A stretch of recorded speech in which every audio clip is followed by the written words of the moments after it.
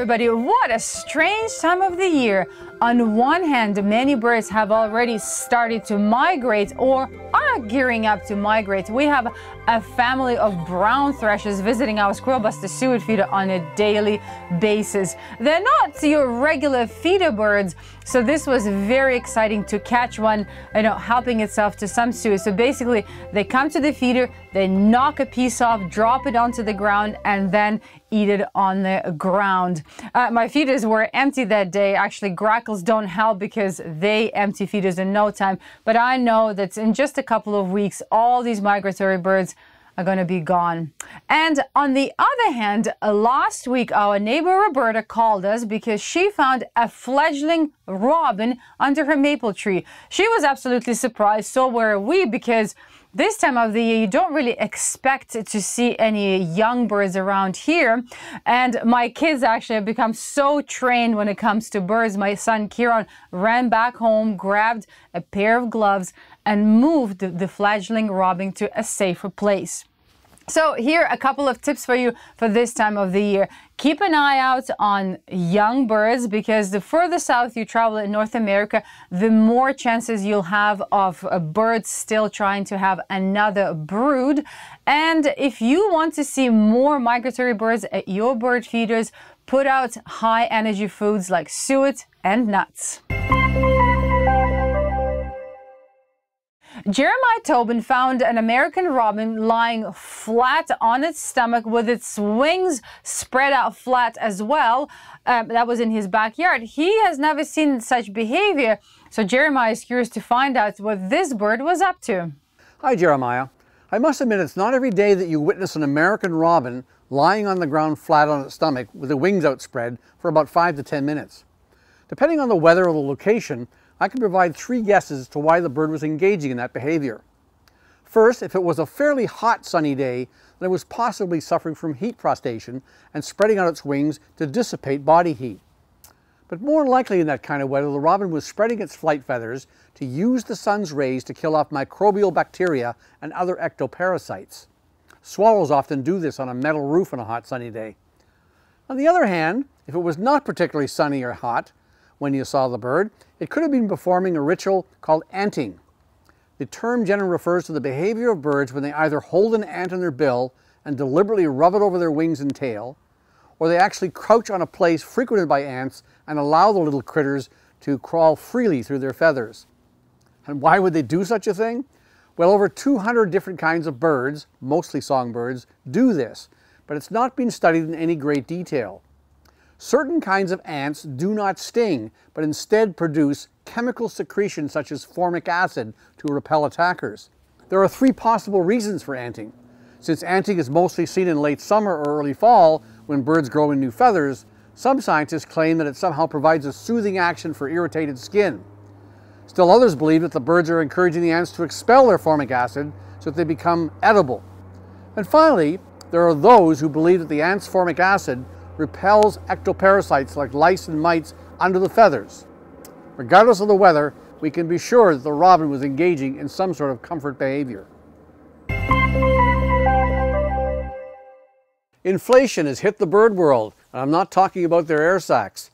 Soaring inflation and the rising cost of living everywhere in North America is forcing many folks to tighten their purse strings, possibly including those who feed the birds. Hopefully birdseed's not being removed from their budgets entirely, but here's a cautionary tale about resorting to purchasing cheaper bird food. And it's coming from the beaks of penguins in a Japanese zoo. At the Hakone Aquarium just south of Tokyo, zookeepers are offering cheaper food to their 20 captive penguins to help cut costs. Instead of being given their usual fare, tasty and fatty Japanese horse mackerel, the birds are being given saba, another type of mackerel that's slimier, but more important, less expensive, since this past May.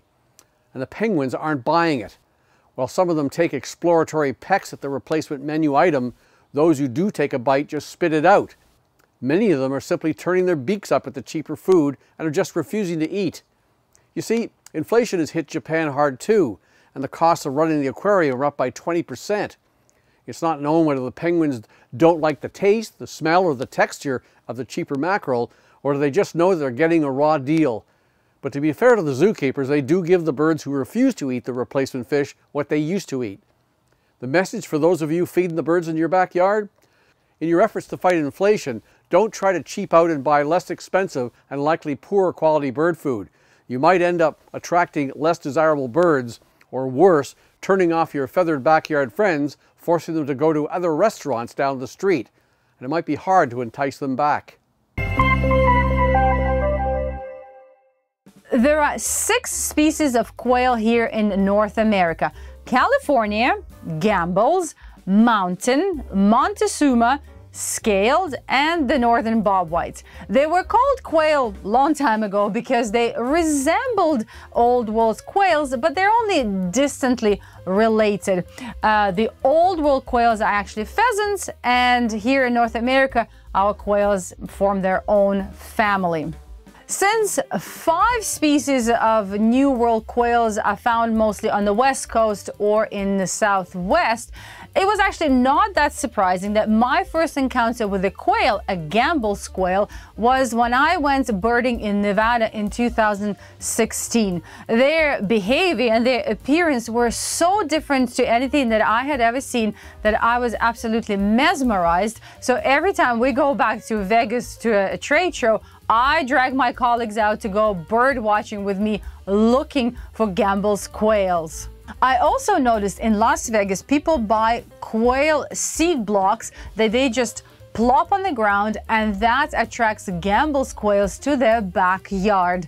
Here on the East Coast, we only have the northern bobwhites and their population is unfortunately declining because for years these birds have been hunted either for food or for sport. But if you haven't seen uh, northern bobwhites anywhere in your area, you might recognize their song.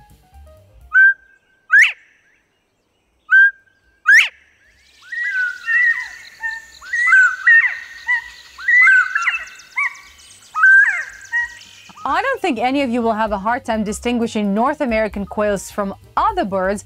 These quails have all kind of similar body shape and sort of hooked beaks. Mountain and scale quails, both sexes look similar, whereas California Gambel's, Montezuma and Northern Bobwhites, males have really beautiful face markings and females don't. New World quails eat mostly seeds, fruits, tubers, and leaves. Some insects are consumed, but that's mostly during their breeding season or when rearing their chicks.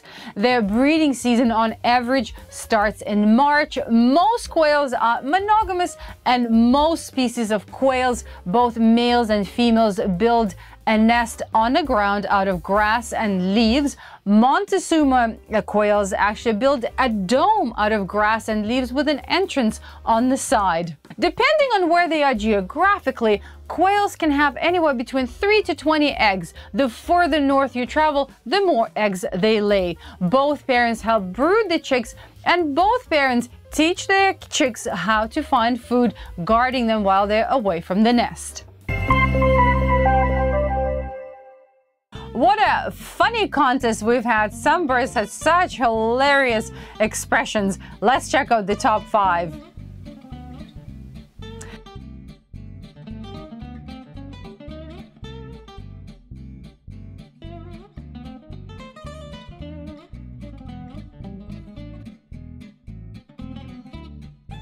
Here's the third place.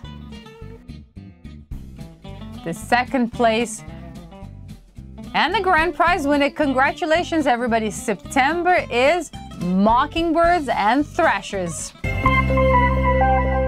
Well, that's it. That's all for now. Let me know if you have any birds that are still nesting in your area. I am always curious to find out what birds are up to in different geographical areas. Take care, everyone. I'll catch you in two weeks.